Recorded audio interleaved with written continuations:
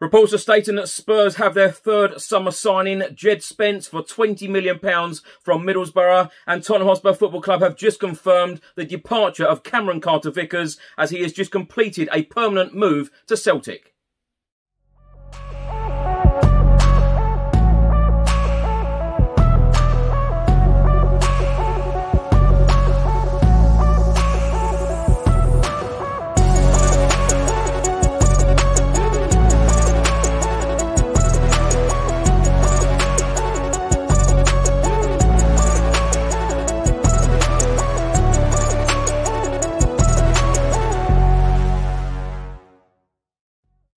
Welcome back to the channel. Hope you're all keeping well. This is another edition of Tottenham News where I'll be going through all of the latest Spurs news, rumours and reports. If you're watching this on YouTube, please do hit that subscribe button and also like and share. If you're listening to this on an audio platform, do hit that follow button and leave a review if you can. And please do check out the channel sponsors, One Football, Zooch Converters, William Hill and Live Football on TV.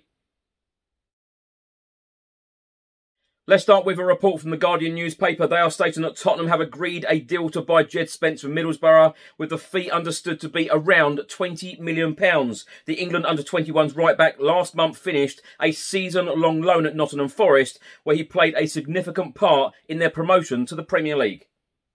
Djed Spence, who was born in London and was in Fulham's academy, is one of the country's most highly regarded young defenders and was on Thursday named in the PFA Championship Team of the Season. Nottingham Forest had considered keeping the 21-year-old, but he has chosen Tottenham um, Emerson Royal was the preferred Spurs option in uh, Spence's position in the 2021-2022 season, although Matt Doherty and Japhet Tanganga also were used there. Tottenham's targeting of Spence fits their general policy of signing young talent with potential sell-on value. They abandoned uh, that this month to bring in the 33-year-old Ivan Perisic, who is leaving Inter Milan at the end of his contract. It then states that Djed Spence has held down a regular championship place since December 2019, first with Middlesbrough and then Nottingham Forest. He made his England under-21s debut in March. And also a report has just been published by the Daily Express and they are stating that Tottenham Hotspur have agreed a deal to sign Middlesbrough defender Djed Spence this summer. Antonio Conte is closing in on his third signing of the transfer window after Djed Spence snubbed a return to Nottingham Forest, despite helping them gain promotion to the Premier League.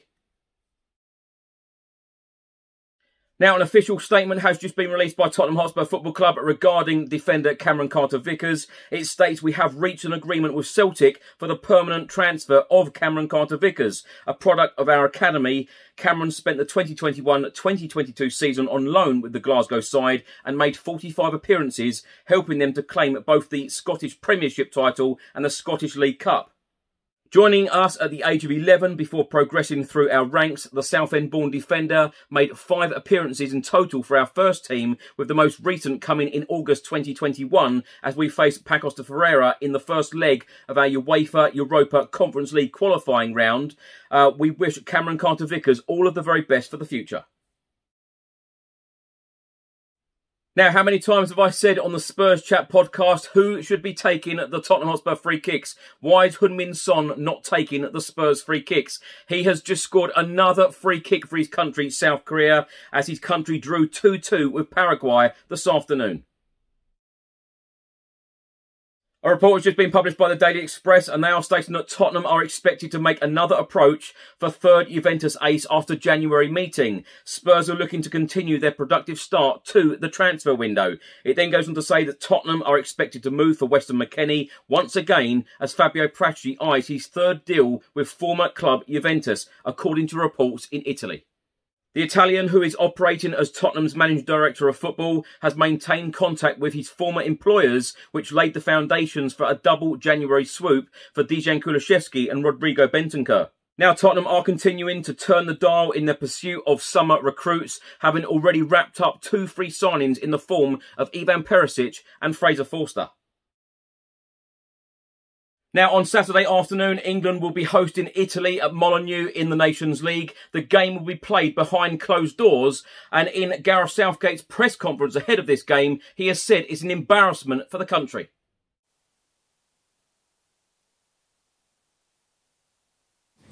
This game's obviously behind closed doors. I know there's going to be up to 3,000 youngsters there. The FA have invited free of charge. But I need to ask you about the reason this is behind closed doors. Is it embarrassing for English football that the team have to run out into virtually an empty stadium because of the way some people behaved during the final? Well, if it's an embarrassment, it's for England as a country, really, because a lot of the people that, could, you know, I, am not certain we're football fans. So, um, but I think we've spoken enough about it. We, we, we, spoke about it after the final. We've spoken about it when the punishment was first given.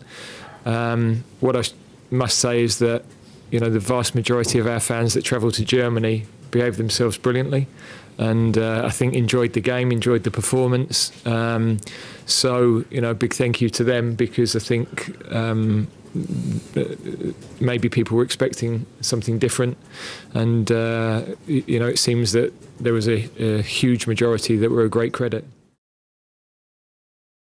Now, my thoughts on these stories in this episode. Let's start with the Djed Spence one. Reports are stating that this deal is now done. £20 million. I'll tell you what, if Spurs get this deal over the line for £20 million, what a signing and what an absolute bargain. He is a real quality right back. I'm sure Antonio Conte will get the best out of him and he will be a very, very good player at Tottenham Hotspur Football Club. And I'll tell you what, the transfer uh, window in the UK officially opened today and we are set to announce our third signing of the window so far. I'm so impressed of uh, what Tottenham Hotspur are doing right now, getting players in early, and not only are we getting them in early, we are signing real quality uh, to come into the starting 11.